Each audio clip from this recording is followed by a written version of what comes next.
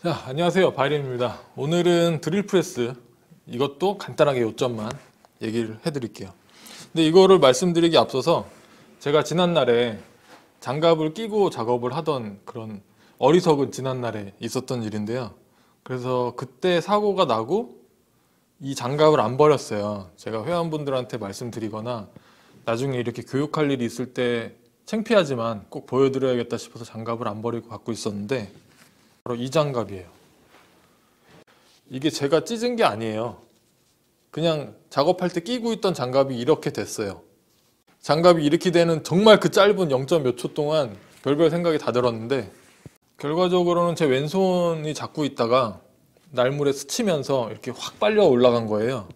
그러면서 잠깐 빨려 올라가는 게 아니라 날은 계속 돌고 있잖아요. 손 안에서 돌면서 이제 점점 장갑을 꼬아버린 사건인데 다행히 아주 큰 사고는 아니었다고 할 수 있어요. 뭐 손톱 쪽이 파이고 살이 좀 찢어지고 하는 사고를 당하고 빨리 손을 잡아 빼면서 장갑이 이렇게 심하게 찢어졌는데 아, 이것처럼 드릴 프레스 장갑은 절대 끼면 안 돼요.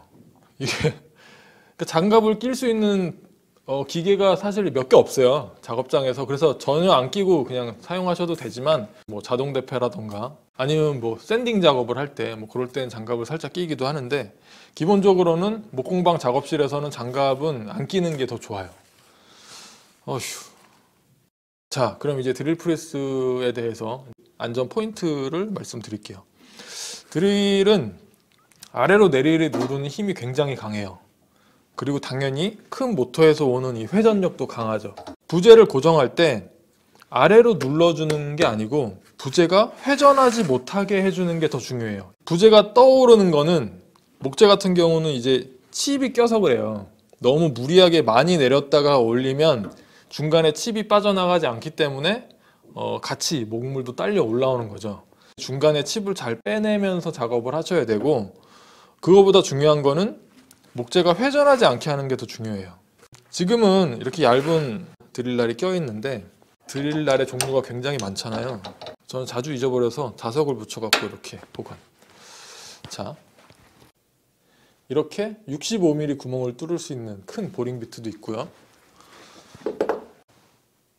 잡어! 이렇게 테이퍼진 구멍을 뚫을 수 있는 이렇게 무시무시하게 생긴 비트도 있고요. 또 이렇게 20mm 20mm짜리 구멍을 뚫는 이 드릴 비트. 이 비트에 제가 이제 손을 다쳤었죠 까불다가. 그 작업대에 그 구멍을 뚫다가 생긴 일인데요. 작업대 상판도 무거운데 그거를 좀 억지스레 고정시키고 이걸 구멍을 뚫다가 이렇게 작업대 상판이 덜컹하면서 들리면서 잡고 있던 손이 아래 비벼진 거였어요.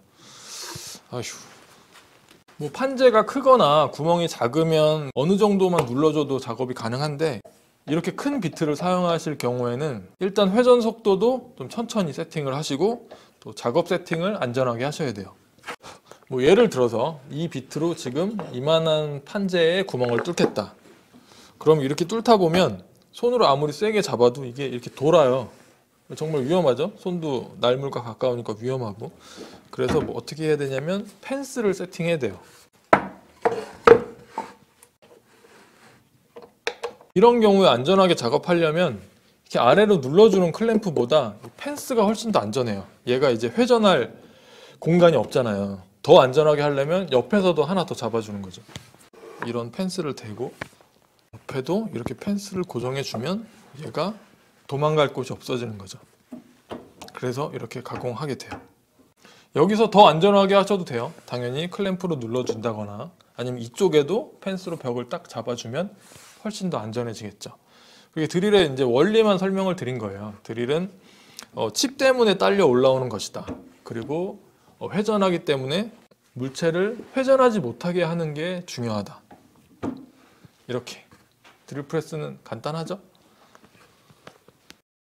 그리고 이거는 보너스로 이런 스타일의 드릴 프레스를 쓰시는 분들 중에 높이 세팅이 좀 어려운 분들을 위해서 저도 이거 높이 세팅 맞추는데 처음에 많이 헤맸기 때문에 말씀드리면 목공용으로 나오는 드릴 프레스들은 뭐 측면에 있다거나 높이 세팅이 좀 더 편하게 돼 있죠. 근데 이렇게 철공용으로 나오는 이런 제품들은 이 뭉치에 높이 세팅을 할 수 있는 부분이 있어요. 뭉치를 살짝 풀러내면 이 조절하는 버- 범위의 링이 이렇게 빠져요. 빠지면 이제 자유롭게 높이를 세팅할 수 있게 되는 건데 간단하게 말씀드려서 지금 현재 위치에서 고정하겠다.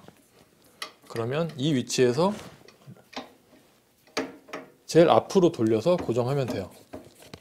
그러면 지금 현재 위치에서 내려가질 않죠.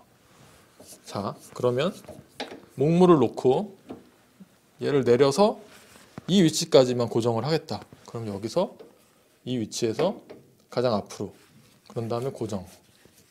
그러면 방금 세팅한 위치까지만 내려오게 되죠. 자, 두 번째는 이 위치, 이 위치가 제로라고 세팅을 딱 해놓으면 이게 표면이에요. 그럼 이 위치에서 20mm 더 내려가겠다. 그러면 가장 끝까지 돌린 이 위치로 기준을 잡고 여기서 눈금대로 20mm 에서 고정. 그러면 이 방금 세팅한 데서 20mm만큼 내려가서 가공이 되는 거죠.